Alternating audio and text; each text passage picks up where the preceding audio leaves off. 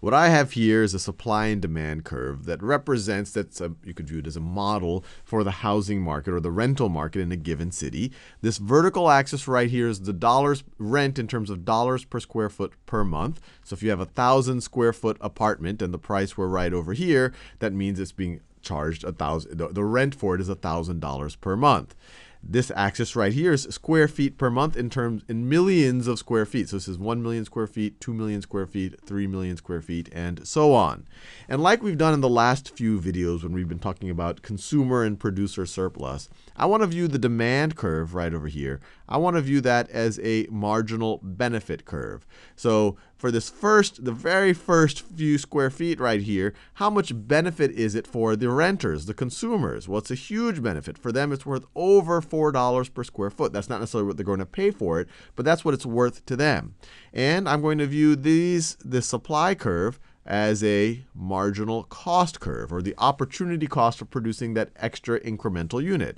So right down here, when we have very few square feet, maybe the land is cheap or all the cheapest land is available, you just start or the, the land that's most suitable for building.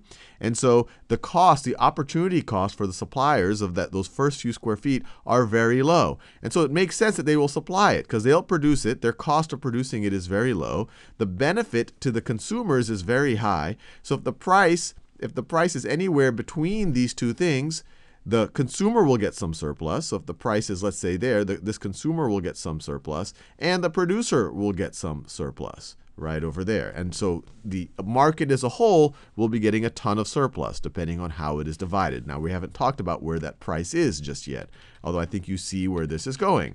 So the producers will keep producing more and more units as long as the marginal benefit is higher than the marginal cost. There is this surplus there that can be divvied up between the consumers and and the suppliers depending on where the price is. Marginal benefit higher than marginal cost, marginal benefit higher than marginal cost all the way up to that point, all the way until we get to all the way until we get to 3 million square feet per month. After that, it doesn't make sense. If so, there's some builder that says, hey, let me add some more square feet to the market, this is what it costs him. It's going to cost him over $3. It's like, well, people aren't even going to get $3 of benefit from those incremental square feet, so no one's going to get it. So there's no reason for anyone to build beyond that point. And so that's why this ends up being the equilibrium quantity. And the price at which that happens the price at which that happens, and I rig this so we get nice clean numbers, is $3 per square foot per month. Now, $3 per square foot per month is a pretty pricey rent. If you have a 1,000 square foot apartment, and a 1,000 square foot, that's my old apartment, that's like a two bedroom, two bath apartment, that's roughly a $3,000 a month for that apartment. So that's pretty pricey. This is the type of rent that you would see in some place like San Francisco. And let's say that the the the the mayor does not like this. This is unaffordable. People aren't able to live in, in our city. And so they they they institute rent control. Rent control, which is essentially a price ceiling. They say that the rent per square foot cannot be above a certain amount. That's not normally how rent control is instituted, but just for the sake of our model, let's view it that way. Normally they say you can't increase rent beyond a certain amount. But let's say that they say rent control, they essentially put a price ceiling on what rent can be charged. So they put a price ceiling, a price ceiling or a rent ceiling, a price ceiling at $2 per square foot per month. $2 per square foot square foot per month. So let's think about what's going to happen. And also let's think about what's happening to the total surplus, the producer and the consumer surplus. So before, well, actually before we even think about the rent control, let's think about what the total surplus is. You had the consumer surplus. So if this is the price right over here, you had a consumer surplus of this area right over here. And I don't know if this, if this right over here, let's call this 4.5. If this is 4.5, then this side of the triangle right over here is going to be 1.5. That is 1.5. And then this right over here is 3 million. 3 times 1.5 is 4.5. 4.5 million, and then you divide by 2. That If you just multiply these, you get the area of the whole rectangle. You divide by 2, you get 2.25 million. Is that right? Yes, 1.5 or times 1 half of 3. That gives you 2.25 million million dollars. So in the equilibrium, if you just let the market be before the rent control, at this equilibrium price and equilibrium quantity, the consumer surplus is $2.25 million. That's how much more benefit the consumers are getting collectively versus what they have to pay for living in that living in those houses. And then the producer surplus, the producer surplus is this entire area right over here. And if we assume, let's say that this right over here, I know it doesn't look like it, but to make the math easy, let's say that that is 50 cents. Let's say that is 50 cents. So this whole side right over here is going to be $2.50. So this is going to be 2.5 right over here. This length right over here is still 3. So it's going to be 2.5 times 3 times a half. 2.5 times 3 would give you the area of the whole rectangle. You have to multiply by half to get the area of that triangle. So 2 times 3, so let me just write this down. So it's 2.5 times 3 is that is 7.5. 25 times 3 is 75. And then 75, 75 divided by 2, 75 divided by 2 gets you what? It's 37, 37.5. So this is going to be 3.7, 3.75. So this, the producer surplus is 3.7 3.75 and since this is in millions it's 3.75 million dollars. And so that's the total value that the producers are getting above and beyond their costs of production.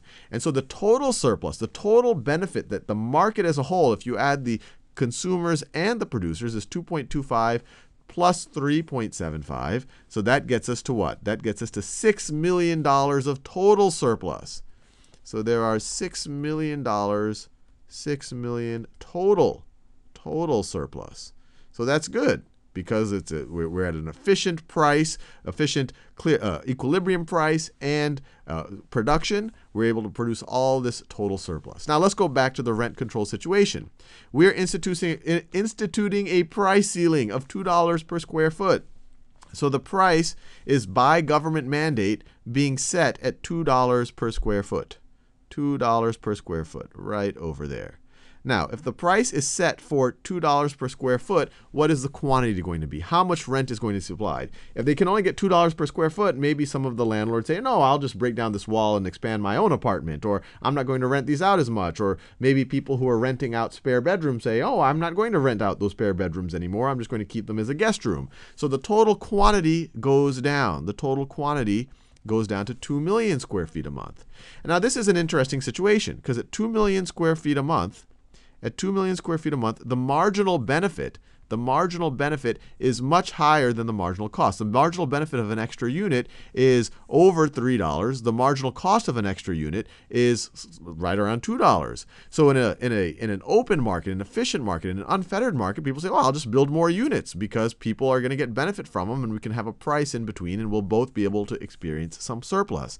But now you won't. Even though there's this benefit that's in excess of $3 because the price can't be higher than $2 there's no incentive for any of these people to either uh, build more units or maybe offer the units that they have off up for sale. And actually maybe we shouldn't talk about building that's more long run but even the units that are there i won't want to rent my guest room out because i'm like oh it's too much of a you know i'm not going to get my i'm not going to get my marginal cost. My marginal cost here is over $2 and all i'm allowed to get is $2 so i don't want to offer that extra unit so what happens in this situation when the price is set right over here, when the price is set right over here, the consumers who happen to be able to rent at this price, who are able to get these first 2 million square feet per month, they get an even larger for those those at least for those 2 million square feet, their consumer surplus is this thing right over here.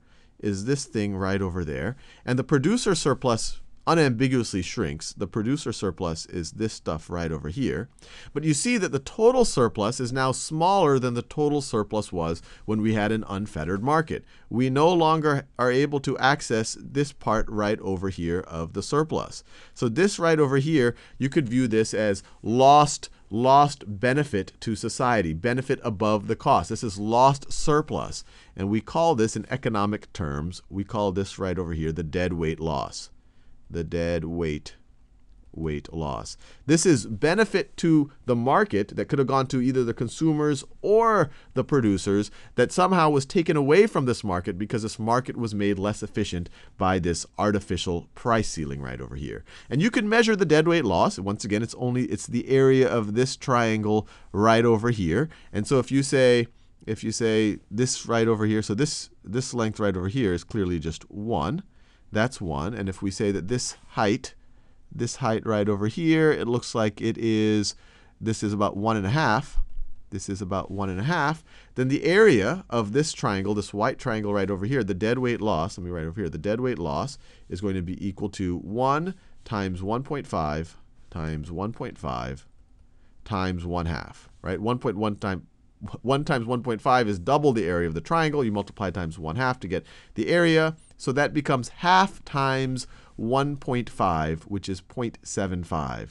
So that gives us a deadlock, but it's 0.75 million. So it's 750 thousand dollars. So this area right over here is seven hundred fifty thousand dollars, which is lost to the market. So now the total surplus is going to be seven hundred fifty thousand dollars less than the six million dollars. So because of that rent control, it'll now go down to five hundred.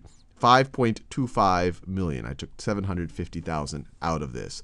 So it might have benefited the renters who happened to who are able to get apartments. It won't be benefit the renters who now that they, they're not going to be able to find an apartment. It unambiguously reduced the producer surplus and it reduced the total surplus, the total amount of benefit that the market as a whole was getting.